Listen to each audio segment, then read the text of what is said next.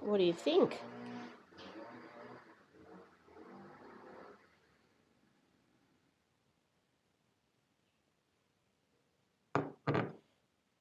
Aren't they gorgeous?